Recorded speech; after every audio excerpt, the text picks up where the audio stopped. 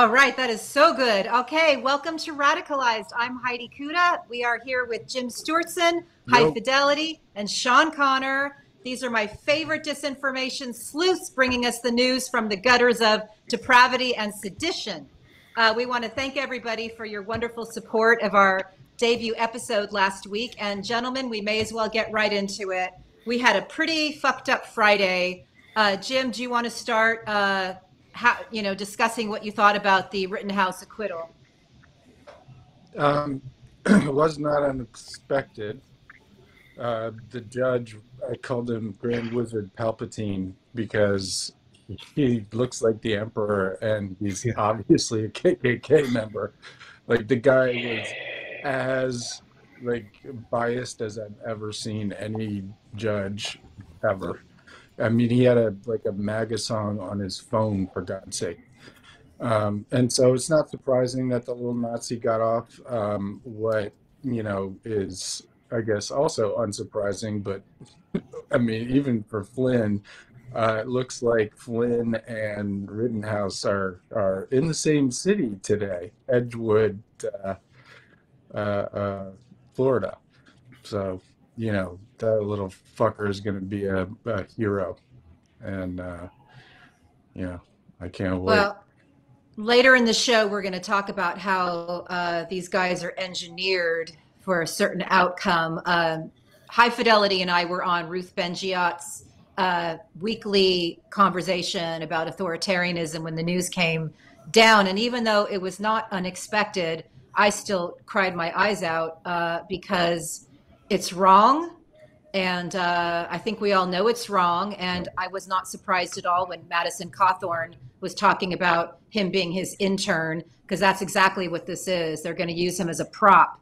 Uh, Sean, what were your thoughts? Well, from my perspective, it was very odd to see this trial go on as long as it did. I think it should have been mistrialed earlier on. I thought the prosecutor, the state prosecutor, did a horrific job presenting Horrendous. his. I mean, it was it was it was it was it was and this guy has a good track record. It was very strange like you know he's not an unknown commodity. He's done good good uh, uh, law in the past. So it was a, the one thing i think that everyone knows the judiciary is is not um, always fair. And so i think in this trial we saw the whole nation saw how much a judge can influence a case. You know that's i mean when you go into court you have the rules of evidence and procedure but you have a judge that will decide you know when your motions in limine what's going to come in and what's going to not come in. And that basically sets the the ground level for the entire case. Now this judge seemed to, to decide and change things and and apply law here and there but that's just what you deal with in any courtroom. This one was just on a national scale and was broadcast to the whole country so they could see that. Now i'm just shocked it didn't get mistrialed earlier which i mean i cannot believe it didn't get mistrialed because of the number of opportunities that there were to throw this case out. It's going to get appealed. Who knows?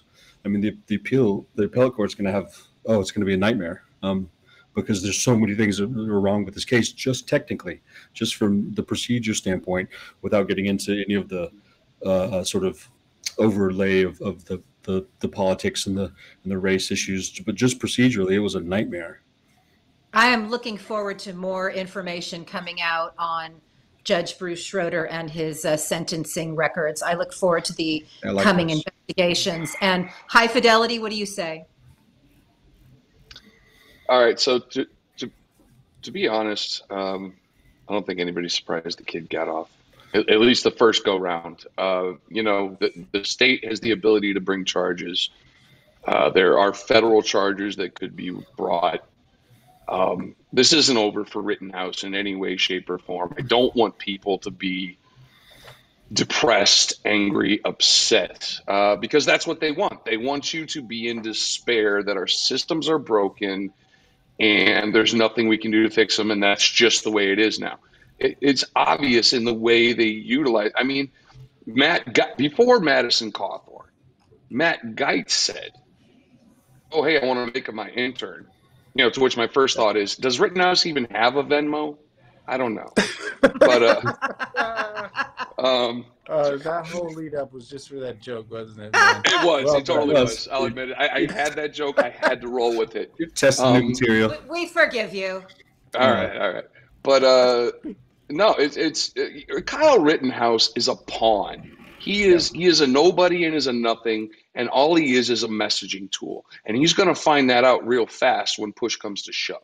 Yeah, Right. he's he's gonna get mind fucked in every possible way. I mean, he already has. He had Ricky Schroder in there teaching him how to act in court for a year. Well, yeah, Ricky Schroder. Uh, oh, and he still did a terrible job, which says something about Ricky Schroder why he's not working now. But anyway, um, Also, guys, what is uh, interesting, Joseph J. Flynn actually posted on Twitter about, hey, I brought Ricky Schroder and. Lin Wood together and I hooked up that whole thing. So it's interesting that Joseph J. Flynn, Mike Flynn's brother, is bragging about bringing this whole nonsense together. And then, that you know, a couple days after the kid gets off, he's hanging out with Mike Flynn, um, Yeah. which actually, Uh, don't get me started on Joe. Uh, he's an errand boy uh, and in his own brother's cult, which is really weird. I think Um, it's very interesting that he's taking such a keen interest in you guys. well, so of clear, he clearly, clearly, the- you guys are reaching. he's afraid of me. Are you kidding me? He's a punk. Whatever. Hey, before guys, Um, before we go on, I wanted to make that disclaimer to our audience that I'm sneaking Wi-Fi off of a third floor uh, corporate uh, ballroom here in Dallas. Uh, I'm on the road, so if I sort of start getting sketchy, it's because somebody's going to go in this health spa next to me, and uh, I'm trying to keep the low profile while the Dallas Cowboys are outside there playing. That gives- huge screen. That gives me a great opportunity to thank everybody for their wonderful comments uh, last week. Yes, we are aware that we have uh, somewhat queasy audio and video at times, uh, but we've got great information. So bear with us, uh, particularly with our main engineer and art director being on the road, stealing Wi Fi from a random, a rando hotel. You see what we go through for you. You see our audience. You see how much we love you. Hey, true. hey, there might there might be a little bit of noise, but the signal comes through. That's the important. Uh, Well, let's Yeah. hope. Uh, so, Hi-Fi, you also um, offered some brilliant words, which I wish you could repeat on Ruth's show. Because while I was crying like a baby, you actually sort of calmed us by reminding us what was actually really happening. What what's really happening is we're in an influence war. Um, that's it. It's there's the global rise of fascism. We are in an influence war where our enemy is intentionally and continuously inflicting uh, mental trauma upon us as a society. I mean, uh, think how much of a sense of relief people got when Trump got kicked off of Twitter and he was no longer like in the news every day for running his mouth and saying awful things, right? And and that would we- we have to be cool. We have to maintain our cool. What they want is they want us full of despair.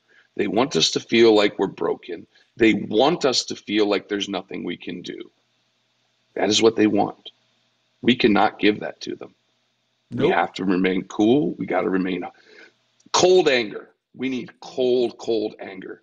Yeah. Because if you get hot anger, And and listen, guys, uh, for, coming from this guy, that's saying something. I, I got a lot of hot anger. Trust me. I, I, I Um, love what you said about cold anger, smart mind, uh, and you know, smart action. You know, I think that's really where we're at. Um, you For- also for me, talked a it's little not bit. about despair. It's not about any of that. It's about people understanding.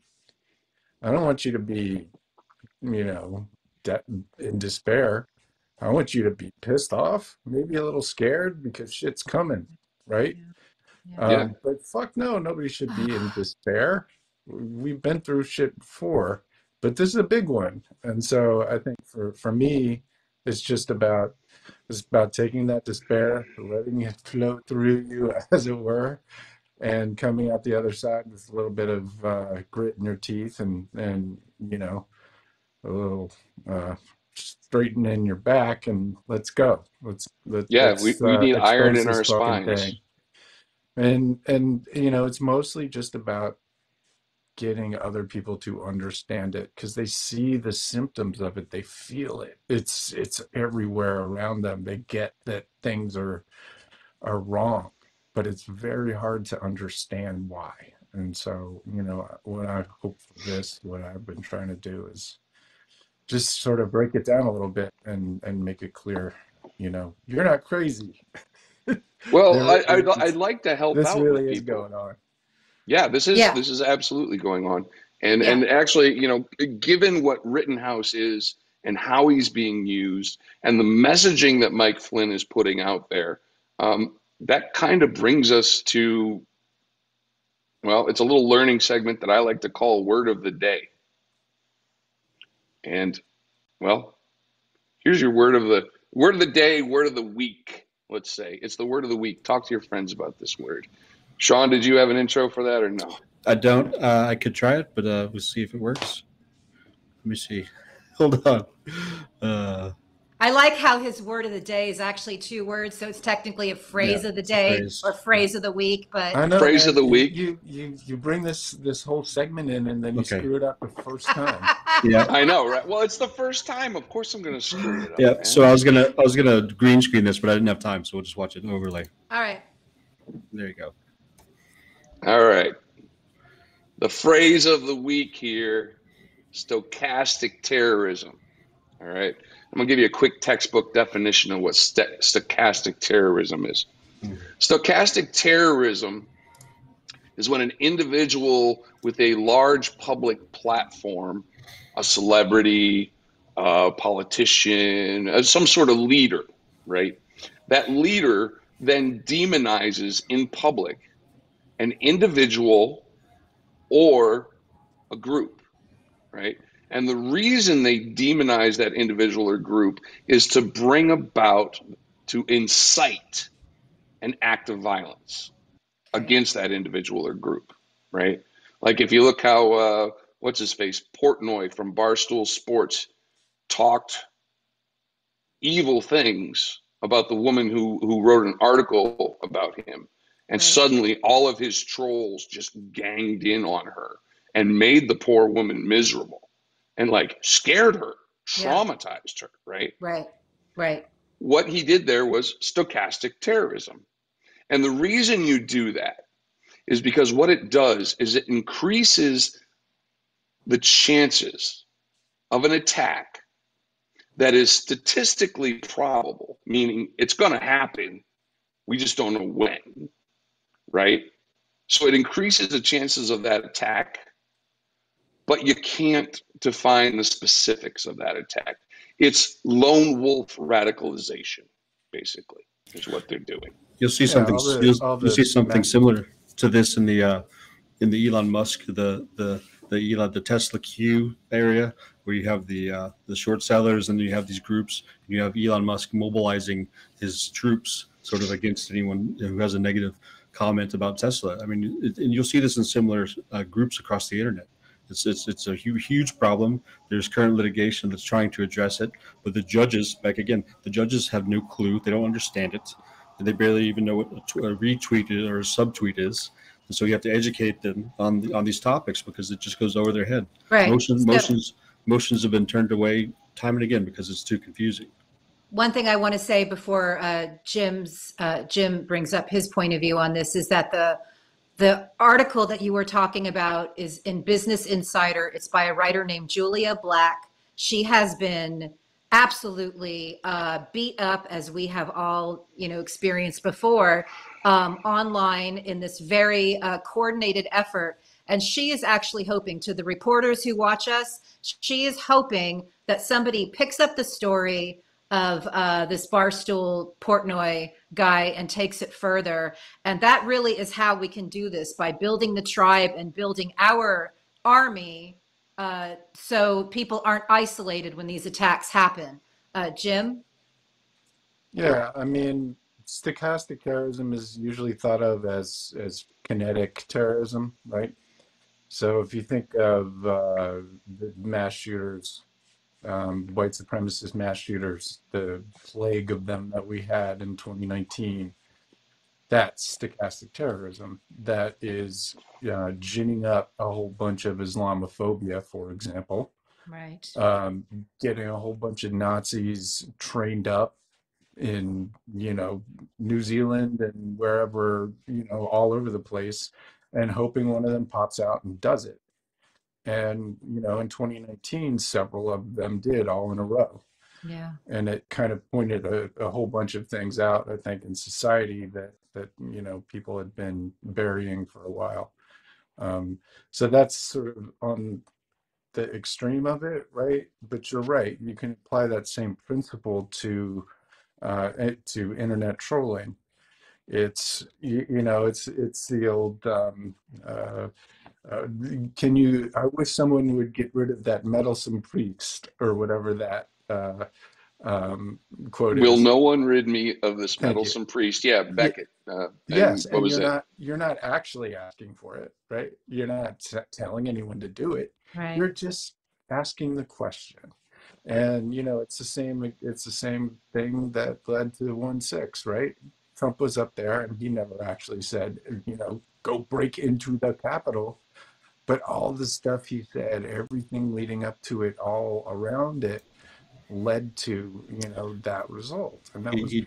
he did say, Russia, if you're out there, I'd love to see those emails. Russia, if you're listening, that's a classic. yeah. Um, a whole bunch of people went after it yeah, that's right. Yeah, yeah. It's a it's so important, and I'm so excited about Jim's upcoming news block because uh, he's going to be looking at some relatively recent history, and when we mine our history from 2016 even there's lots of important things that can be put together. So before we get to why it matters um, hi-fi i just wanted to let our viewers know that um, two of our first critical reviews came through.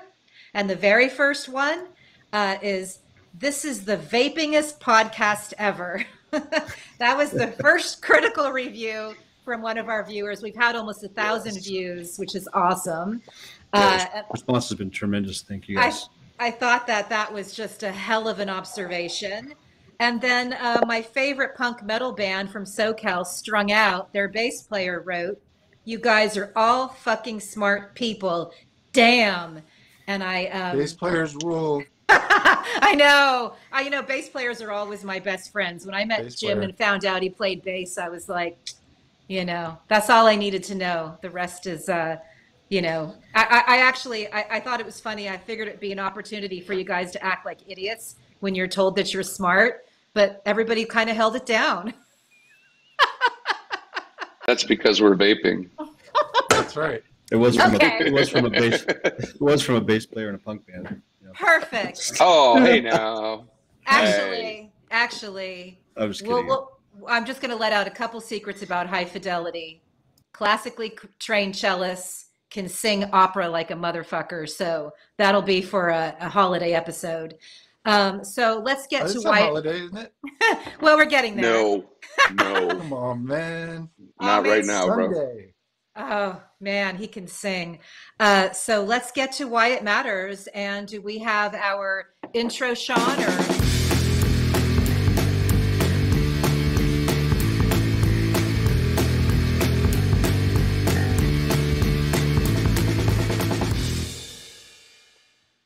All right. So, what was the big news this week that I think people need to pay attention to? Why it matters. So, first story is uh, Kimberly Guilfoyle and the money. I never know if I say her last name right. Guilfoyle is that? Perfect. Okay, cool. All right. Uh, so Kimberly Guilfoyle and the money.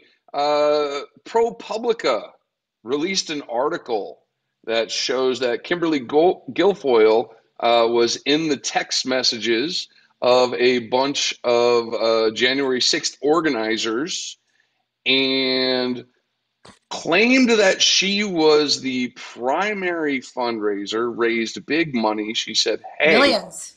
yeah, one of my donors alone gave three million dollars, which that kind of sounds like the woman from Florida, the Publix woman. I don't remember her name, but uh, yeah, heiress to the Publix fortune, and uh, and then, and th- this is the best part, right? So not only is she in there talking about, yeah, I helped raise money for the insurrection, she's in there talking about because I raised so money, you need to let me put speakers on the speaking list and you need to let me get up on stage. Like such a publicity hound. Did, yeah. did she- did she or did she not used to do strip dances for donations? You guys remember that story? It was I mean, Well- I can't. I, I would Republican do. I would do strip donation. I- I, would. I I, don't- would I do don't mind stripping for that. donation. This week, yeah. I'd rather her do that.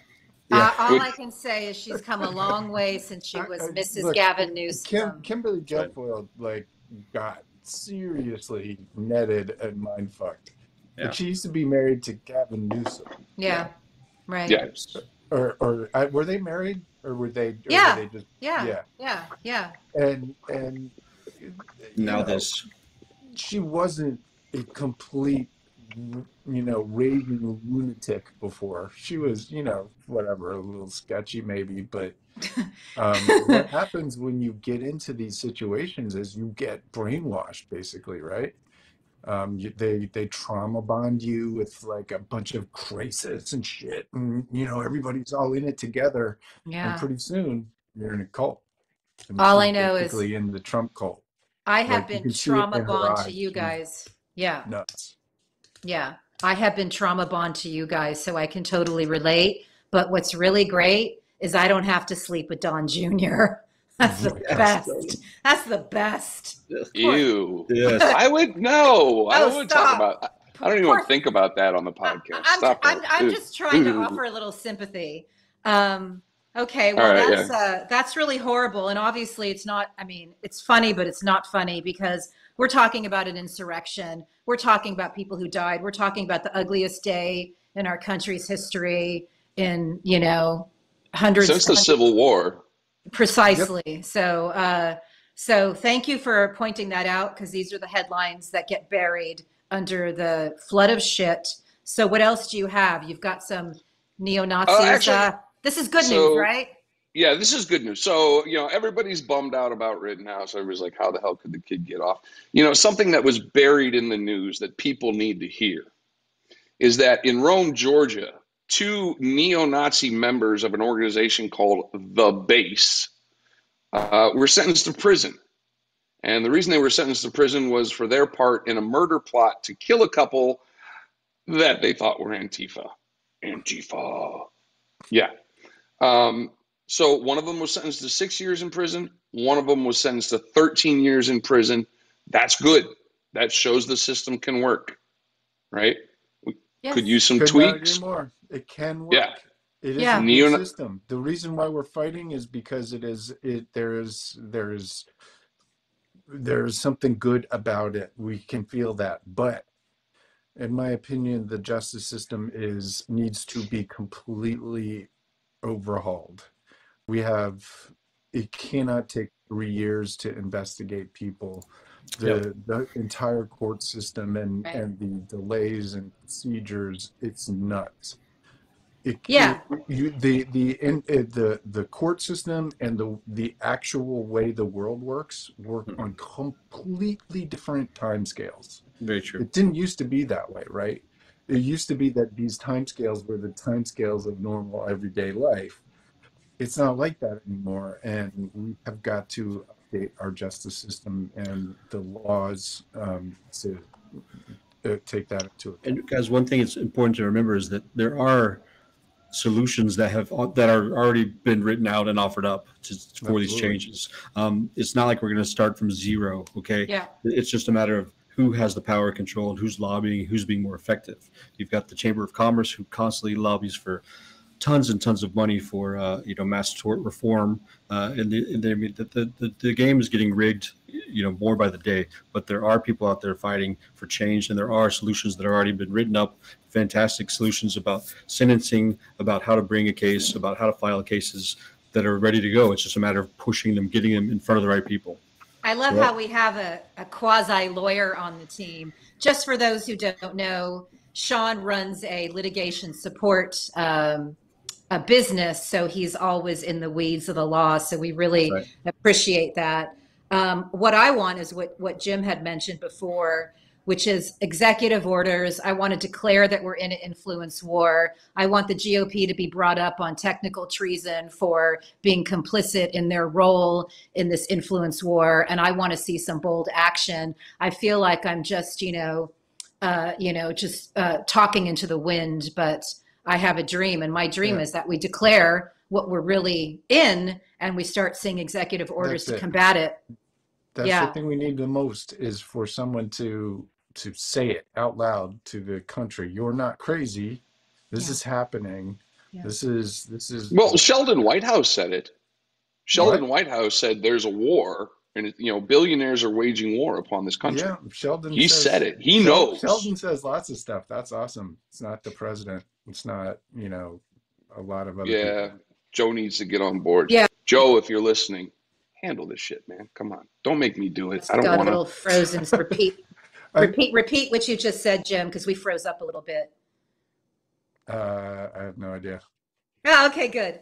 All right. Well, moving No, right I- along, we're going to do something about Project Veritas playing pretend. we Yeah. We're gonna, we're all gonna, right. So, let's let's uh, breeze through this so we can get right to Jim's hellscape. all right. Third story. Third story of the week is uh, Project Veritas plays pretend, and why is this important? Project Veritas pretends to be a journalistic endeavor. However, there were some documents leaked to the New York Times that said uh, they were basically conversations with their attorney, like how far can we bend the law before we actually break it? Cambridge Analytica How- did the same thing. Exactly. Exactly. This is uh, they're hacking the system. They're trying to find any vulnerability they can exploit to break things, right? And so the New York Times got a hold of these these memos, these emails, and everything, and uh, they started releasing them. And this judge in the case, uh, you know, he, he called it a prior restraint case. Which, if you know anything about Watergate, you'll understand the rulings about prior restraint. Um, and New York Times is just like, what? No. Also, the thing I need to point out is, you know, the FBI just raided Project Veritas and James O'Keefe, right? And the reason they raided him is because of suspicion of being involved in the breaking and entering of Joe Biden's daughter's house to steal her diary, right? Yep. So, Uh, and, and here's one, one more fact I got to add Project Veritas, uh, funded by Donors Trust, which is Robert Mercer and the Koch, Net- Koch Network, Mhm, trained by Erik Prince, mhm, who is, uh, well, the guy's a warlord. I mean, Mhm. basically. mhm. Um, so yeah, it wouldn't it wouldn't surprise me at all that Erik Prince may have had something to do with Project Veritas breaking into. I don't know, but they're all connected. I'll tell you that much. Come on, man. Of course. Look, Hey, I don't I don't have anything solid. I'm not a Fed. I can't break into their systems and look at all their there's no- stuff. Yeah, I'm not. You don't need to break into their system to know that. I mean, it was Uh, in the hard New York evidence. Times that these people get trained on Erik Prince's ranch in Wyoming yeah, by a British spy yeah. um, who used to be an MI6. Like this isn't. Okay, that is a hard fact. That is a very Yeah. hard So fact. is yeah. Seychelles So- and the pedo guy. Yeah, Nader, you know? Sutton is his Mm. yeah, he he went to the Seychelles to try to uh, Little to try to set up a back action. channel. Yeah, Yeah, a we'll- little, we'll- little we're back gonna- channel action for This Eric is a Prince, good right? transition, maybe. I, Oh, I yeah, just want to say, I want to say Eric one more too. thing because I'm one, One of the thing. 3% that, that read every footnote in the Mueller report, every word, and all the texting and communication between Prince and Bannon during that Seychelles period was wiped, wiped out completely, Oh, deleted. Oh my goodness! How'd Anyway. that happen? I don't know. I don't know. But If you have nothing to fear, you have nothing to hide. Hold on a second. But her emails. All right, Other Jim. email. There's our segue. Uh, can we, uh, as if if Josh is still there, hiding out in the hotel room, do we are we able to get Jim's hellscape going? Uh, Sean, you there? Jim Stewartson's Hellscape. Oh fuck. Oh fuck! Oh fuck! ah, love it. I've seen that so many times, and it's still. It's the best. It's the best.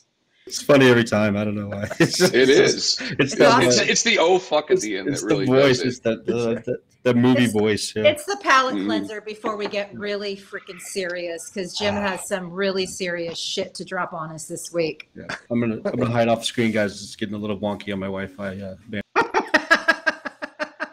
when somebody walks by on their way to the spa in a towel.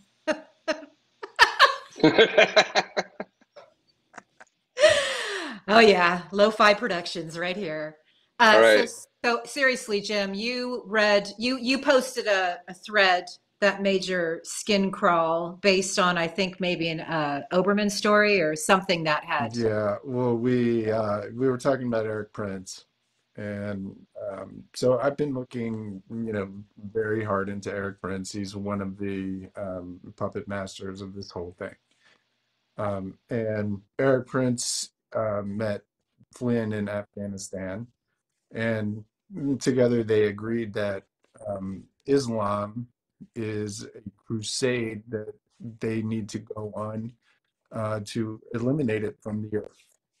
Um, Erik Prince is in a is in a group called uh, the Knights of Malta, which is an arm of the Catholic Church um, that still believes it's fighting the Crusades. Um, there's, I know this sounds like some kind of crazy Dan Brown novel, but it's real. There's 13,500 of them. Erik Prince is one. I've been trolled by several. Uh, it's it's it's real, and they're they're extremely dangerous. At any rate, uh, is is Islam is their their main foe in their in their minds. And Keith Olbermann did a, a piece on Blackwater. Everyone knows how evil Blackwater was. Yeah. Um, but it this clip really did make my blood run cold because it, it showed me precisely who Erik Prince is. Did you guys want to run the audio on this, or Jim? Jim, do you want to talk over it, or No, just run it. okay? Let's see. This is the which one? The Olbermann piece. Yeah, and if it if it boots us out, then we'll just cut it and we'll just Well- fix it in post.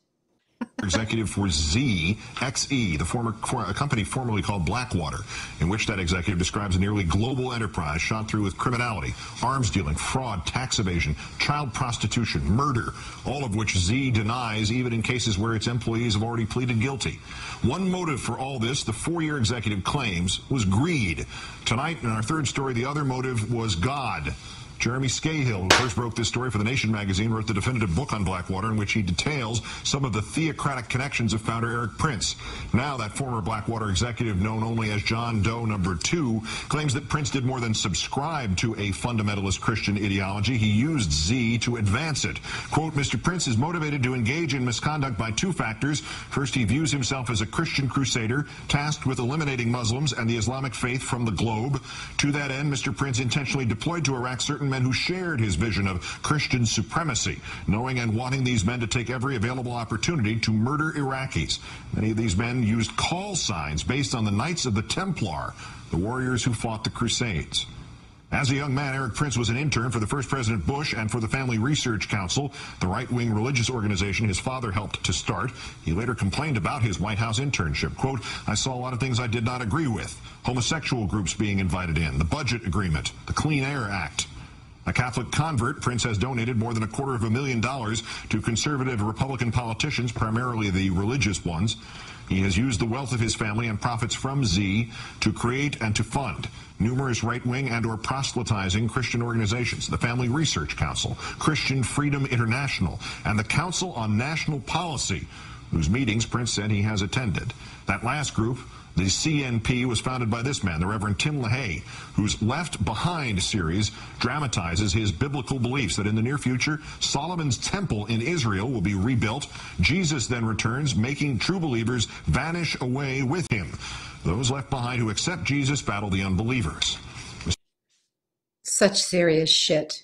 So I I mean, look, in a nutshell, what we're seeing right now, right, is is this, this religious dominionism. That's what it is. Tim LaHaye was basically a dominionist propagandist.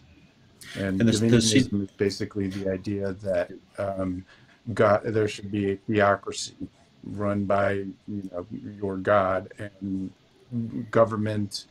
All forms of life should center around God, um, and the the reason is that that according to this demented version of the Bible that they believe in, Um, those are the preconditions for the end times.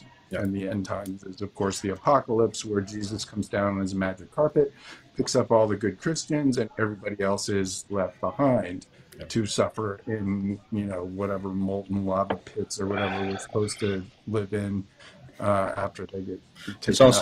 Also it's also worthy to note that the CNP was also the the organizers that put together the America's Frontline Doctors Group. Yeah. Uh, the- look, the- we, that went- that went on- Yeah, we can't go down that road. I know, I'm just. I'm in the, into the CNP. Yeah, yeah. So let's not I'm do just- that. yeah, We are- yes, the CNP is a incredibly Very important powerful. and very dark, Very powerful quasi terrorist yeah, organization. That's right. That's right.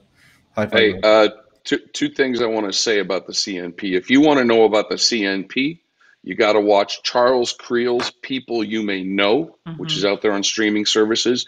And you got to read Anne Nelson's book, The Shadow Network. yes, That's right. Fantastic. Two Follow her on absolute sources Twitter. you got to get. We'll make Also, sure to link, Dave link to those. By Yeah. the way, our guest last week is extremely knowledgeable on the CNP and has Yeah, written Dave you know, Troy, a too. lot of Yeah. um, very good work on that. We'll This make sure to me link to an those. oppor- Yeah. This gives me an opportunity yes and we will always the stuff we discuss i will always link in our radicalized uh, pod twitter threads. Um, this gives me an opportunity to talk about our upcoming guest once we get through your news block Jim sian norris who uh, works on a lot of extremism reporting for byline times and i have done multiple cnp uh, related stories for Byline, including an interview with Anne Nelson about how they're financing all the voter fuckery, uh, as well as uh, the interview I did with Dave Troy. The things you're describing with Prince are also the things that are being embraced uh, through the connections with extreme right and the Kremlin. So it's bone chilling stuff. Uh, let's keep going because we have some uh, real real life examples of it, including what happened in Rotterdam, if I'm not mistaken. Yeah. You want to run that, Sean? One second. Let me cue that up here. Sure. Okay. So this go. happened this this weekend in Rotterdam. You don't have to play the whole thing. Commandeel voor Rotterdam. Kijk, kijk, blijf hier. Kijk, die bussen zullen. Just tell me when to stop. Hé, hey, kijk dan, joh. Kijk er snel naar. Nee. Yeah. So there's there's a whole bunch of these um, uh, the, the this artillery basically going on around everyone, and then you know, it's probably 60 seconds in, you hear a very different sound. It's a crack, crack, crack, and clearly actual gunfire. Um, so I, I don't know what the death toll and injury toll was, but um, Rotterdam was a war zone. And the reason it was a war zone, COVID disinformation. Oh, wow. Those were COVID protests, quote unquote. Wow. Wow. Uh, were they anti-vax or were they anti-lockdown? or- Yeah. Oh, they were Yes, anti-vaxxers. it's disinformation. anti-vaccine passport.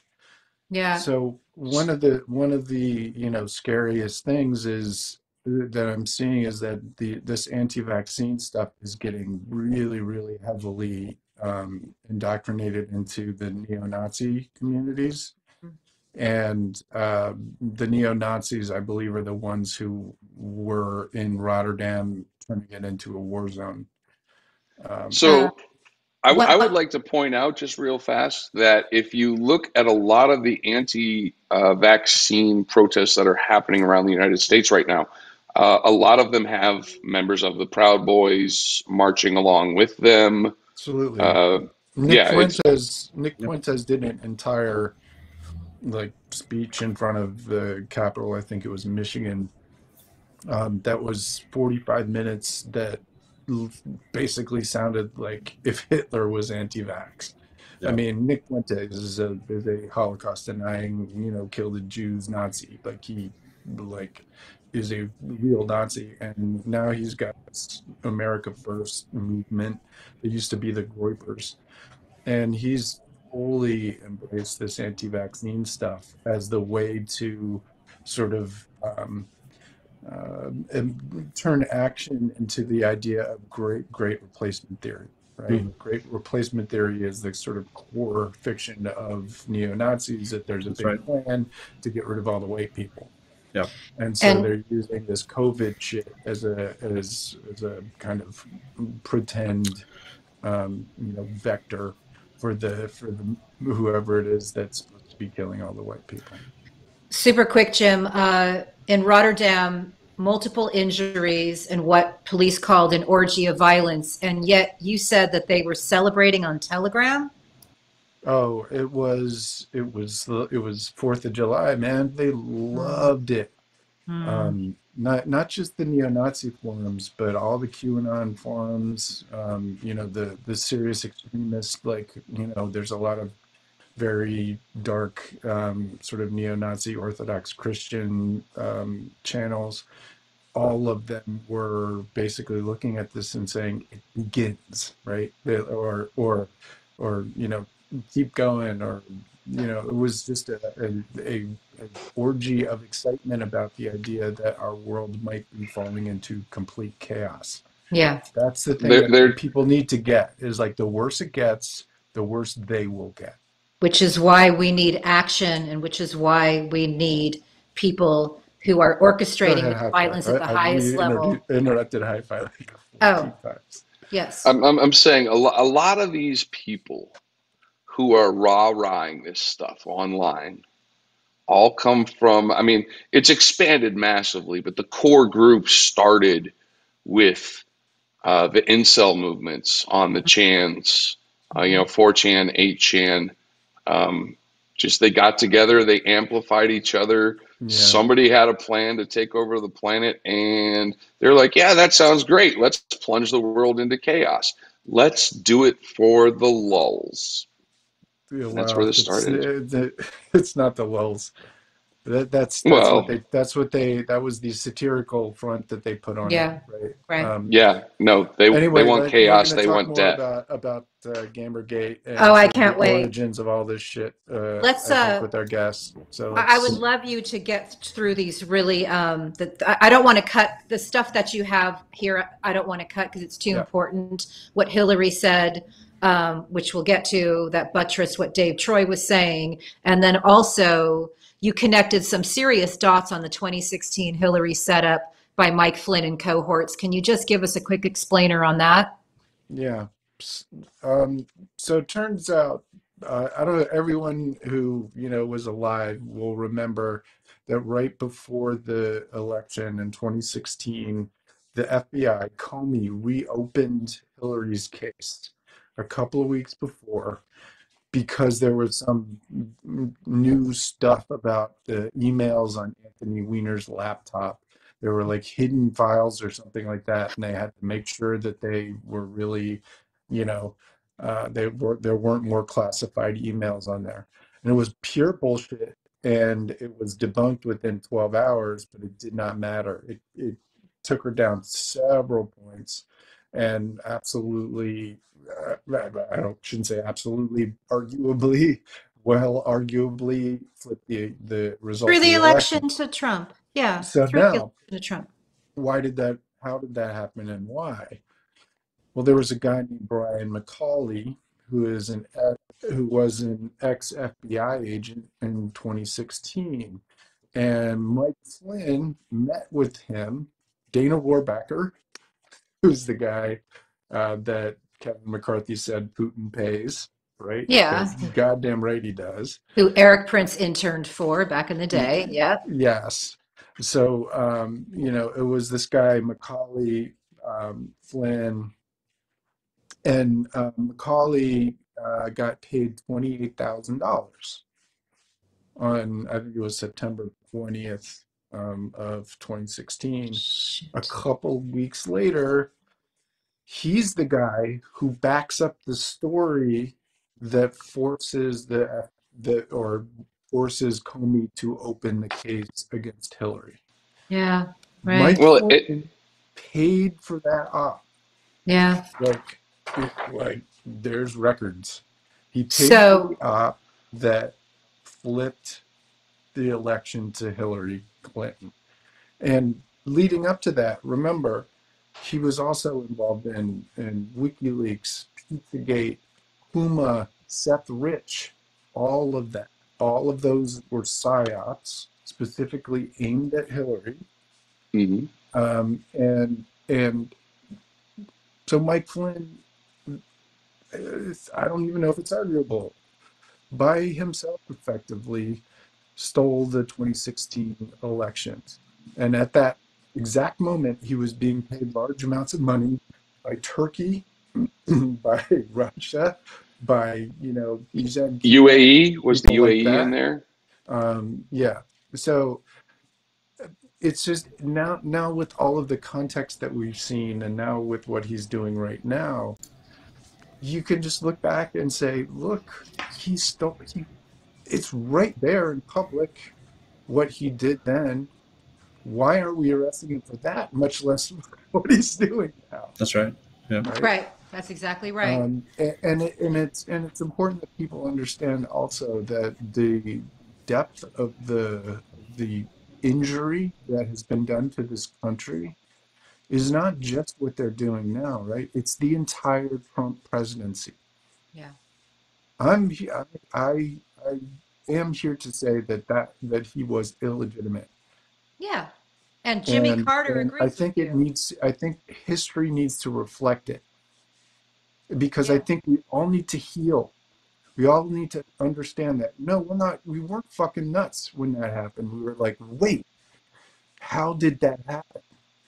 Yeah. Well, it happened because people were waging war on us at the time. That's right. That's right. Cognitive warfare.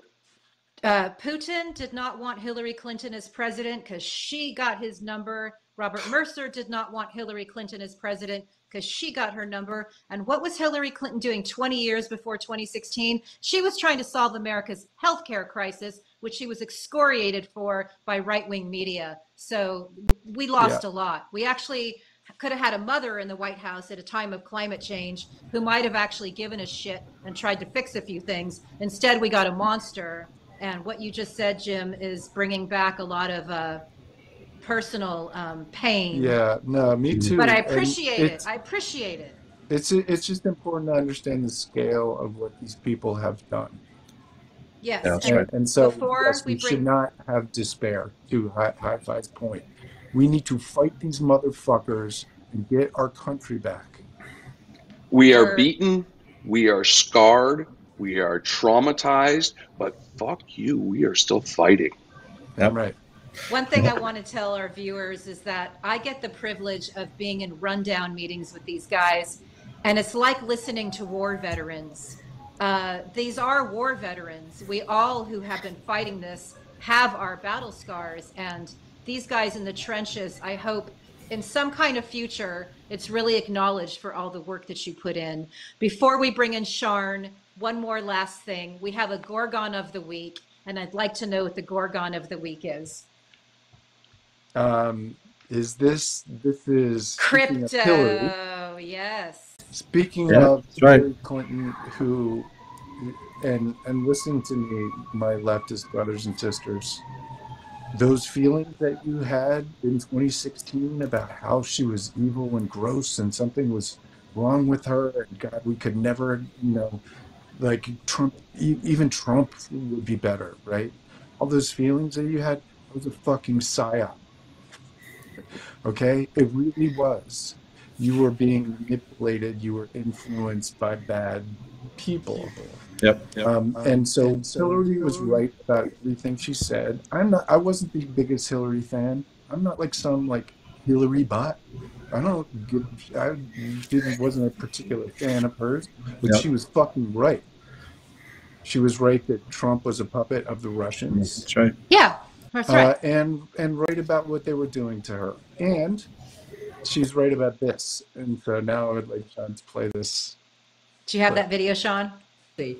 Because what looks like uh, somewhat exotic uh, effort to uh, literally mine uh, new coins in order to trade with them has the potential for undermining uh, currencies, for undermining the uh, uh, role of the dollar as the reserve currency for destabilizing nations, perhaps starting with small ones, but going much larger. So, when we think about this new environment in which we find ourselves that we've been discussing for the last uh, some minutes, um, we can't just think about nation states. So we might fix it in post. We we might not. I see her and I immediately get so emotional because of what we lost. But we had Dave Troy on talking about the dangers of crypto. So you picked that as your fourth news story because Because Hillary was right. Dave Yeah. is right. yeah, yeah, Uh, the, crypto, listen, it, it was invented by billionaire libertarians to destroy the dollar so that they could control the economy. Really, like it's Yeah. it's nonsense. It do, Oh. like it doesn't exist. Yes, is there is there a place for a future where there's a blockchain based economy? Maybe as a as a society we should we should figure that out and decide to do it not have a bunch of weirdos with way too much money yeah. uh, and bad intents out there building these financial instruments of mass destruction it's nonsense if you're buying bitcoin at $60000 you are out of your goddamn mind stop it It's a pump and dump scheme. yeah. It- Well, uh, I, I called it a ponzi scheme Yeah. same same same Same deal. diff.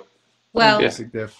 just a little. anyway um hillary was right and Yeah. uh don't buy bitcoin uh like and don't don't fall for that shit really it's it's silly It- Yes. it's peter thiel and a bunch of his anarcho-capitalist like um friends trying to trying to destroy the world and no just seriously Yeah, no, seriously. And just a quick, and for anybody who missed the first episode, watch the first episode for an in depth explainer on why this magic internet Right. money is out to try to destroy democracies.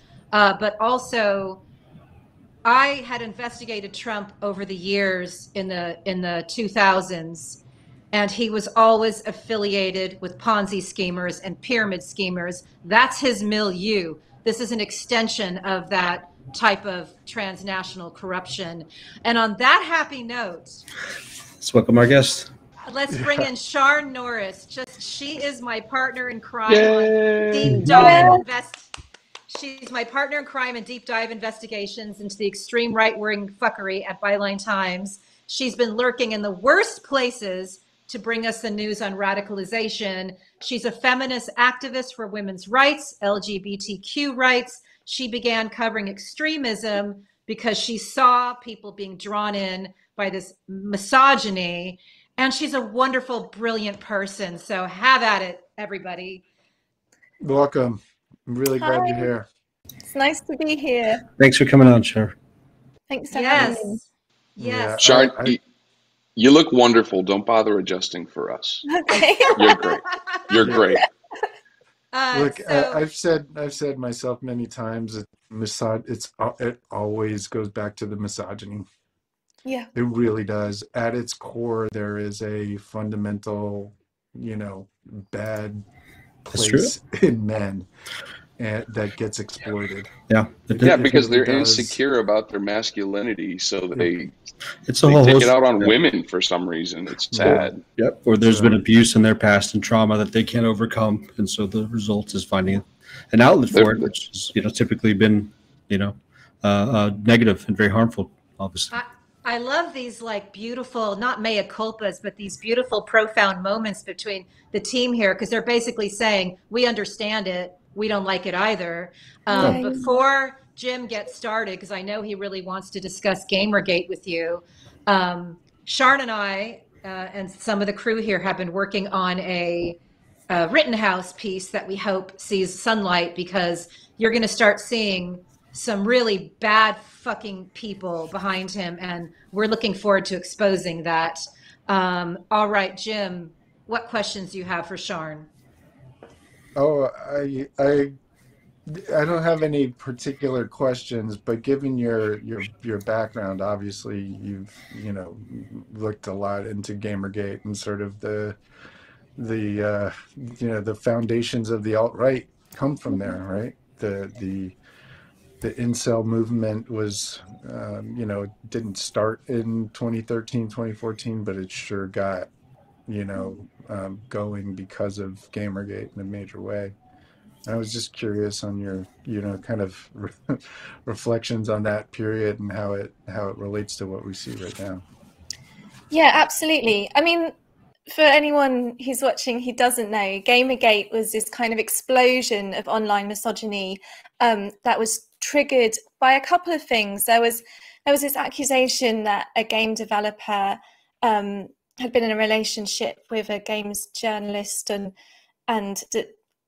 there'd been some kind of you know bad behavior that meant she was getting better reviews than she really deserved and things like that and another issue of a young woman who was making a series about gendered tropes in games and these two issues kind of converged to create this this complete explosion this real anger in the the, the white male gaming community and i think what's what i find really interesting now is when you look back at gamergate we should have been paying more attention like all of the signs were there everything that has happened since began in those moments. You know, we saw what it was like to have kind of these organized pylons of men attacking women in very, very violent, very, very threatening ways. Milo, he, Gamergate was his his birth. You know, he went from being this kind of weird tech journalist in London that we all sort of was like, what's he doing over there to becoming this this megastar of the alt right and and he really used a gamergate as a platform to start kind of attacking the left, to start attacking feminism, to create these ideas about snowflakes who can't cope with a little bit of rough Yeah. and tumble and debate. We also saw the fact that you couldn't report what was going on in Gamergate. And this is so often the case with really extreme misogyny, really extreme racism online. Because it's so violent, because the language is so grotesque, you can't report it. And then this creates a sort of false um, idea of what's actually going on because you look on the news it's like oh they said that she was a bit stupid or they said she was a Right. witch It's like well actually there's very very real very very violent very very graphic threats happening and then perhaps overarching all of that was this crossover between white supremacy and misogyny that we saw in Gamergate. So one of the things that really came out of Gamergate was the attacks on um, the actress, is it Leslie Jones, who was the black women in Ghostbusters? You know, this, you know, the kind of Ghostbusters thing was again, it's like women are ruining everything. They're, they're, they're ruining the things I love, my fan culture, my games, my the movies that I watched as a kid. Um, and she was a particular target of the gamergating community, the kind of outright misogynistic community online. So we sort of saw this this idea of misogyny becoming a gateway drug to white supremacy and then targeting women, high profile women like her. And then when you go beyond Gamergate into the kind of red pill movements, the incel movements, that idea of misogyny being a gateway to white supremacy is really, really obvious. You know, you spend time on an incel um, forum, it's very, very white. There's there's a huge amount of extremely racist, extremely upsetting language. Even if you were a, a black or minority ethnic person who was interested in insulting, I don't think you'd, you'd be in those spaces for very long because the the I just wanted to point out one thing you said that's important, which is that um, the red pill, right, Mm. which people think of now as as just sort of a generic, um, you know, graduation into white supremacy, Mm. was originally about misogyny specifically. It was originally about being uh, about being angry at women, and Yeah. morphed over time. Literally, the Ah. ten did into being what we see now, which is a far more generic sort of. Yeah, I didn't I've realize. awakened into the m- MAGA cult. I didn't realize that, Jim. But that's Yeah, interesting. I came into it later. Yeah. I have, I have. the origins of the red pill. What you see is it, it began as this kind of as a community for for men and predominantly white men who who had that resentment about not being able to get women. And so the, the original kind of emphasis in red pill communities was to turn you from a beta male or a beta male into an alpha male. And you did this by physical self-improvement, so like getting really hench, doing loads of gym exercise, and by gaming women, so getting as many women as you could to sleep with you. And there was a you know a lot of the stuff on the forums was really about kind of sharing this kind of culture of, of fitness and gaming women and talking about women in really, really derogatory ways, really seeing women not as human beings, not as someone that you might want to chat to or have a relationship with or just have a friendship with, but seeing women as objects that you have to own and then you can discard them. And It- it's dehumanizing, right? Mm, It's it's mm. what all cults do, and and I I think you know for me one thing that you know realized that I realized just kind of in retrospect is that Gamergate was a cult. yeah, It really was. There's no, uh, you know, way way around it. At least the this, the core of it. Um, all of And- the signs and- of cult-like behavior were there. All of the 8chan stuff that was going on, Reddit stuff. Um, you know, it it was a a a model for what we see now, right? Yeah, It's a model absolutely. for all the all the ones that came later. They saw that they could literally create these insular worlds online yeah. and put whatever they wanted into their head and in this case it was it was misogyny I have Okay. uh, three Oh. questions before Hi-Fi goes. Three quick things. One one comment, two questions. Because we're bootlegging our Wi-Fi from a hotel right now, uh, if you try to move less, you'll freeze less. So I'm just throwing it out there to everybody. Uh, I have two questions for you, uh, and then I want Hi-Fi to jump in. Um, is what you are probing organic or is everything by design working toward some kind of goal by the same people that we are seeing fuck everybody up in all of the arenas that Jim and Hi-Fi are lurking in? And two, how do you protect your psyche going into those spaces? I had to do it for a living for 20 years. I have post-traumatic news syndrome. I can't do it anymore. So, in terms of the first question, there's a really interesting example of how this happened with the red pill community and the Trump election. So, as I was saying, um, in the run before sort of 2016, red pill was very much focused on self improvement in in a really disturbing, horrible, misogynistic way. Like, how do I how do I become this this alpha male that can can can get game and get women? And then in the run up to the Trump election throughout 2016, you started to see more and more posters coming in and politicizing the forum to be pro Trump. And there's some really interesting research on Oh, this um, okay. from the University of Florida. So they started to promote Trump as very much the alpha, the alpha of the alpha males, that he was going to Oh. win the war on men. And if Hillary won, that would mean the war on men was was lost, that men had lost. Ah. And so I think what we really saw was was this very political, very organized effort to to to to get these very angry white men to go out and vote for Trump because he was seen as this promise of everything that they'd been trying to get the big alpha male who could just go and sexually harass women with impunity. So I think that was a really clear example of where, you know, this isn't organic. This, I mean, there are obviously cases where it is, but there is a clear kind of pattern of political actors moving in to politicize these spaces so that they become less sort of about the self and individualistic and more into a Right. movement. Thank you. In terms of like self protection, I always joke, just like, you know, just have a drink at the end of the day. But I think one of the things that I found really useful when I was spending a lot of time on incel forums was I would handwrite everything because it was almost like I was just copying what they were saying and I Therapeutically, it yeah. kind of a distance. And the other thing, my my best friend, who's very like um, into kind of spiritual practice and things, she talks about putting on the silver shield, and Yeah. so it's a nice thing to think of, just like okay, Yeah. I'm, I'm right. protected, and then it is washed away at the end. You got to put your armor on, yeah. Before the boys jump in, um, we do have our first episode had a significant uh, viewership of 65 and older, maybe like a quarter of. So that's really incredible.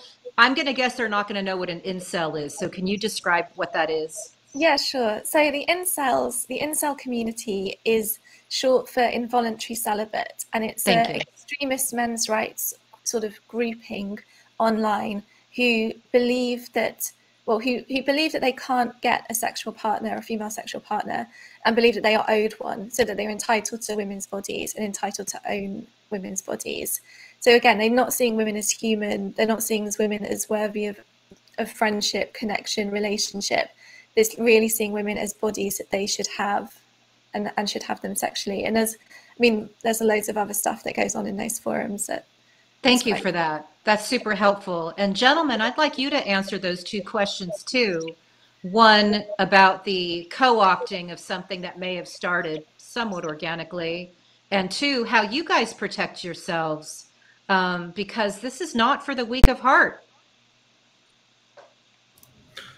I mean, look, I, Sorry, I, for, for me, I think the uh, there's nothing organic about the overall movement, but they take advantage of organic properties of of um, you know uh, society and and human behavior, right? So they there is a lot of sort of emergent behavior that happens in these places, but you know, as um, Sean was saying, it it it it's directed by these political actors that push it in specific ways by introducing things like Trump, by introducing these you know this Nazi ideology to you know what did sort of start out as a as just a little scandal about a, a you know a game um, was totally taken over. There was once that began, there was nothing organic about it, right? There there was no reason for that thing to turn into what it did, right? It only did that because it either profited people or pushed their political purposes forward. It wasn't profiting anybody. there was no nobody was making money from Gamergate outside of a few streamers. Um, it, it was it was about the politics, and Steve Bannon is the one who told Milo to do the thing uh, and start covering Gamergate in Breitbart. Steve Bannon, uh, you know, has said many times out loud that he saw it as an opportunity uh, to radicalize young white men into, Yeah. you know, the Republican Party, but he really means fascism. That's right.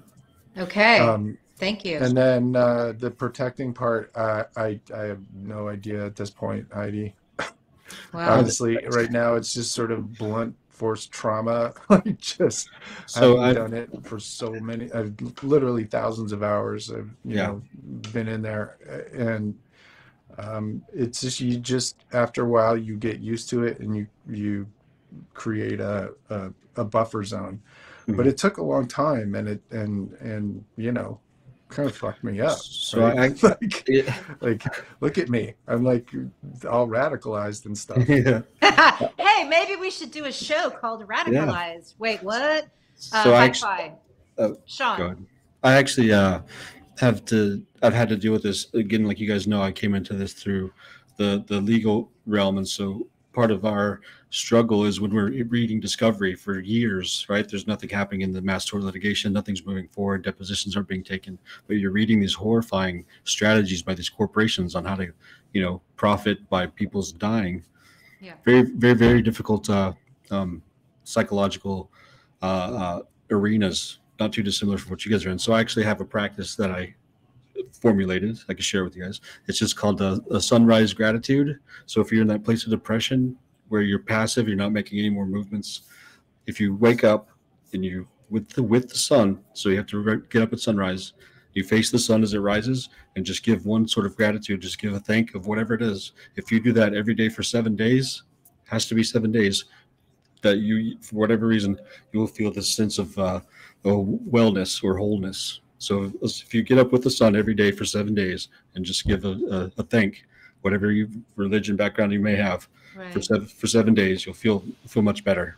I, I want to say something to that. I don't touch my phone or open my eyes or do anything without saying all the things I'm thankful for the moment I wake up. Because if I touch my phone before I say all the things I'm thankful for, down the rabbit hole of despair I might go. Hi Fi, on the other hand, starts with a cigarette and a Red Bull. hey, Hi Fi, chime in. Um, so I would say my history with these people and the things they're doing right now goes back approximately 20 some years, maybe a little bit more. Um, I used to hang out on the Something Awful forum. If I, I really think Oh, that was a root. Yeah, that was a root of all where everything went horribly wrong.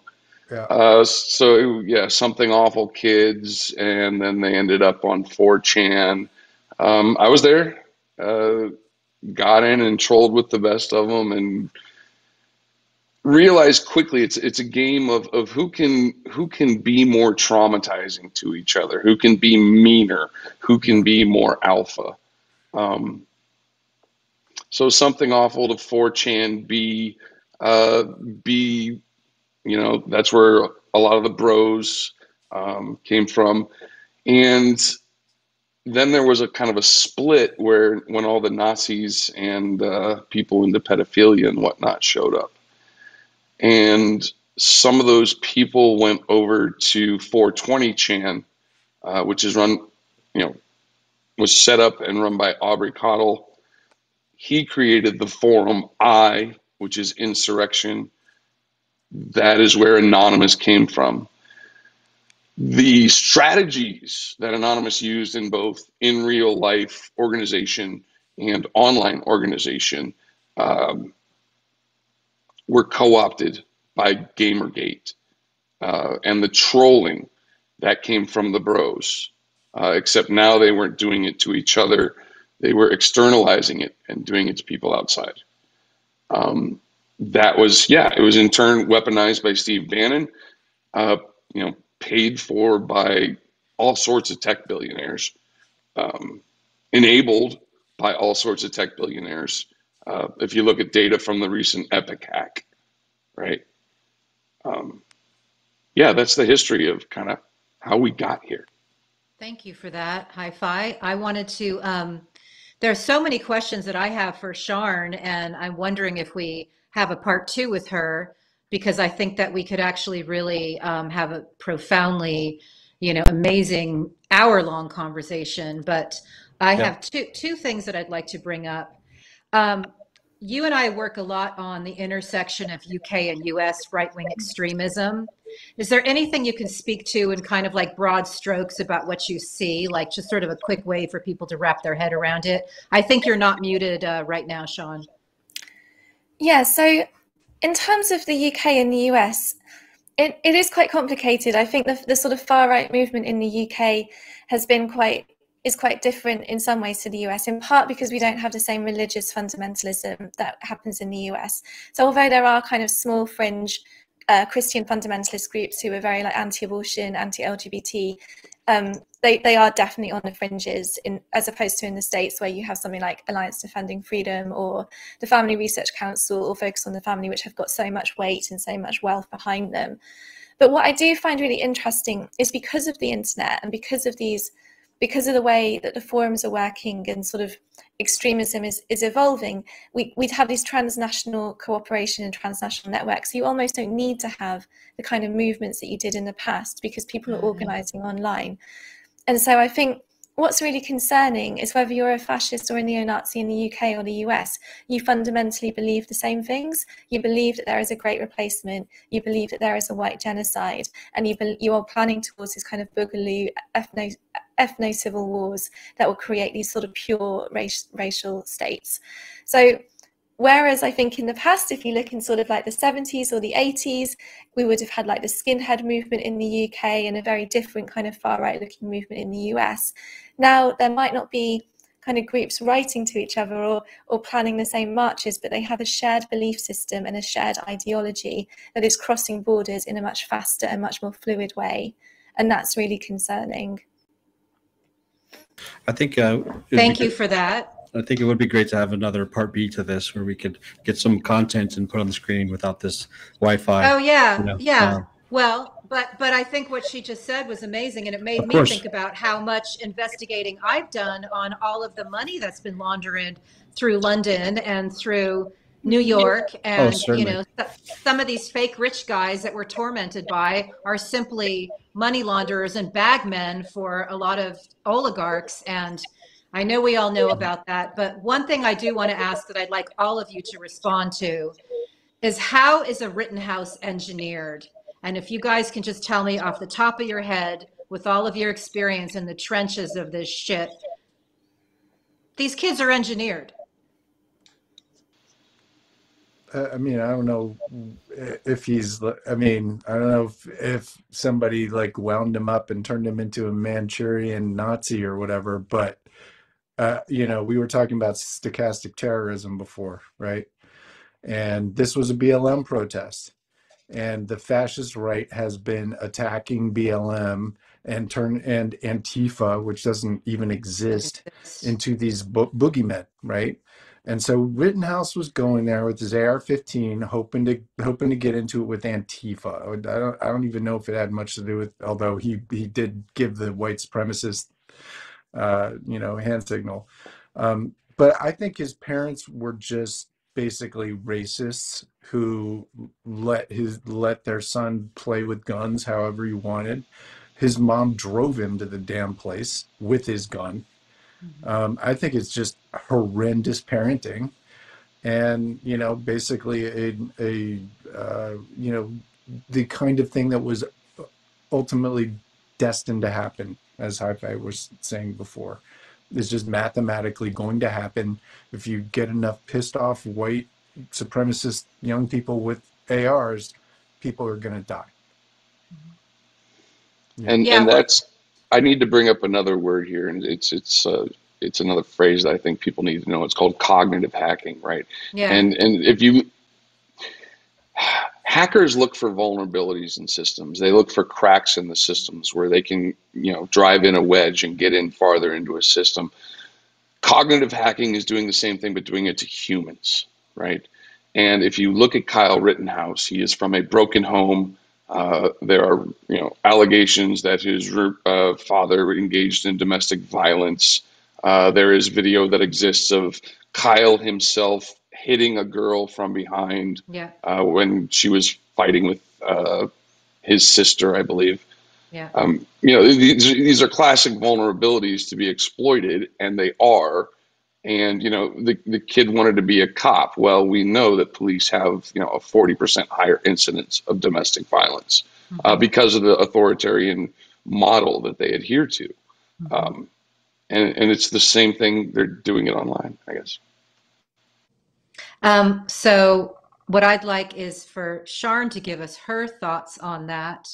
Um, but I, I, I appreciate you guys taking a thoughtful moment because I think we are always swinging at the wrong target. We want to hate the kid. The kid's a symptom of something far more sinister. And if we can figure out how these kids are engineered, maybe we can figure out how we reverse engineer it and start to fix this problem. Sian?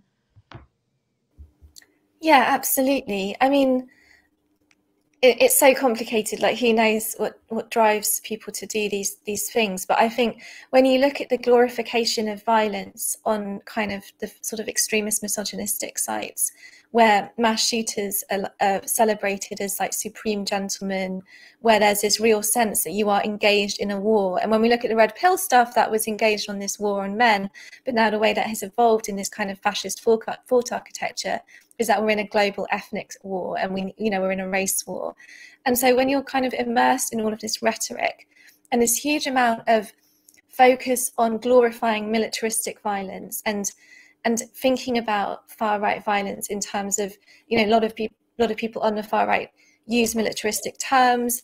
They, they want to form militias. They they refer to each other as kind of commandos or captains or officers in these armies.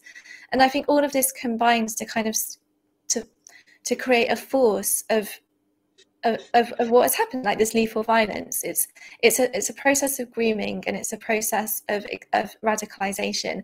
And of course the thing is we know what to call it when it's not white young men you know when it's brown young men they people are much more comfortable talking about grooming and radicalization. But actually what is happening to young white men in these spaces is is is is extremist radicalization Thank you. That's, It- I mean, that's essentially why we launched this show. Jim, did you want to say It's something? really not Yeah. very different from ISIS. Yeah. Um, Right. It's in in fact there's you, you know some of the some of the one of the one of the worst offshoots of of Gamergate was MAGA 3X and they basically used literal ISIS planning. They had cells that had limited information and a specific target and they would basically get wound up and sent off, uh, you know, to to accomplish the mission um, without you know knowing who was telling them to do it.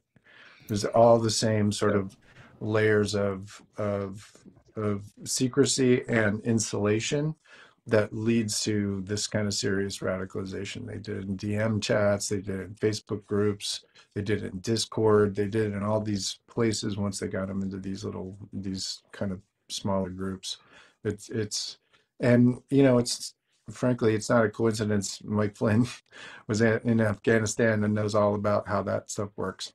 Right. Uh, a lot of the people, a lot of these guys, Mi- uh, Erik Prince too, as we were talking about before, knows all about Islamic radicalization. He screams about it at the top of his lungs and then goes and does it to American white men.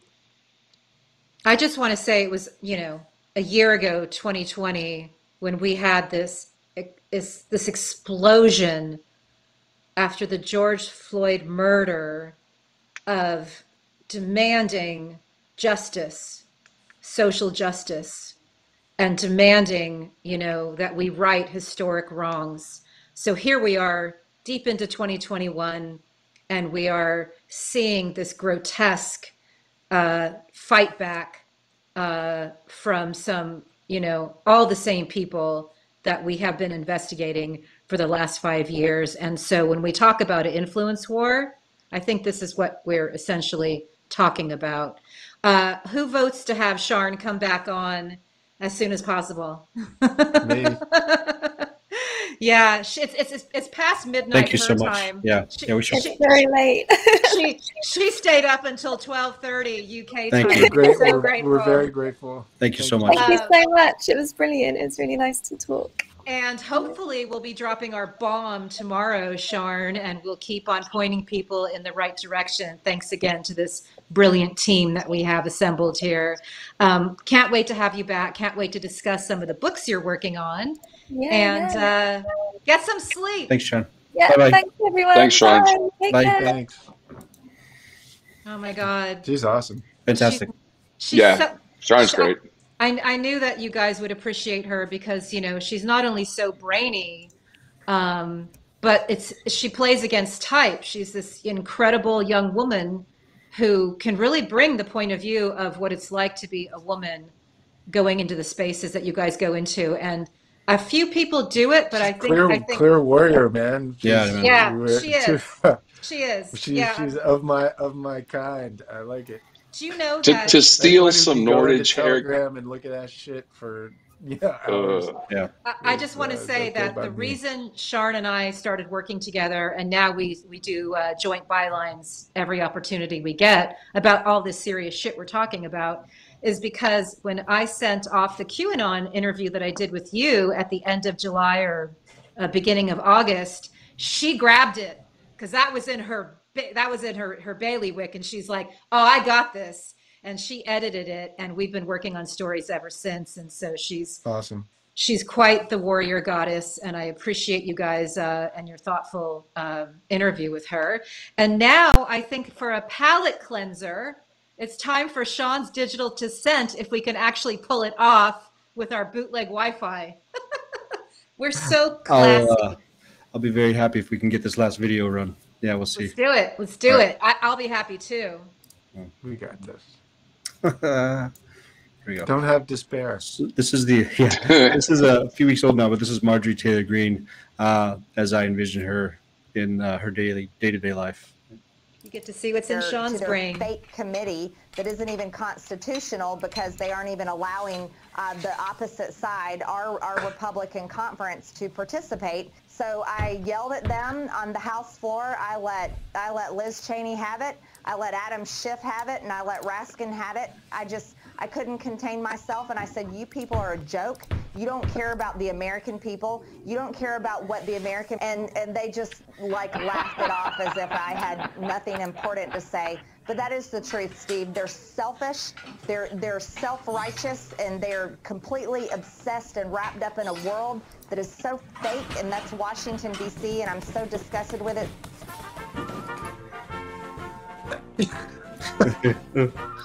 there she is. Oh. Oh, hell to the yes, Sean. Yeah. If, if she's so disgusted, why doesn't she go home? I know. I know. Oh, yeah, Because she doesn't do what she's anything. paid- She, she Um, gets paid to do nothing. Yeah. Uh, she pays fines. Oh, maybe. no, we'll no, see no, if no, she. Pay, oh, she hasn't paid her Uh, fines she's yet. got lots to do. Oh Yes, yeah, yeah, oh they do. yeah. Well, oh, yeah. yeah. She's Oh, yeah. trying to not, got not for not but, for yeah, her whatever. constituents or the No. country. No. Um, so I've been given a news alert that somebody's teeth are swimming. So we're going to do the wrap up really fast. um, my thoughts are that you guys are amazing. I love you, and that Sian Norris can't come back soon enough. I look forward to it. Yeah, she was fantastic. Thanks, guys. Guys Anybody else? Anybody else have a quick little wrap up? Uh, Sh- Sharon's a freaking shield maiden. You know, she is right there next to us on in the the front lines of this psychotic online world we're living in. That's right. Jim? Eh, I don't know. Just just pay pay attention um, and and speak out. I can't emphasize enough the one Speak thing I wanted to say. This is a race. It's a race that we're in between getting the world to understand in the first place what's happening and their ability to prevent us from doing that literally that's part of the reason why I think all of us are so driven, why I'm feel Yeah. this sense of urgency is because they are trying to take this down and we need to get people to understand that fast enough to do something about it. Right And on. so so please right. uh, and Sean has part. a serious sense of urgency. So we're going to roll the credits. With that, guys, we're I love you guys. Stay rad. Come back next week. Thank you so much for supporting us. See you soon. And okay. Are you all right, Sean? yeah, Did you go? I gotta stop the.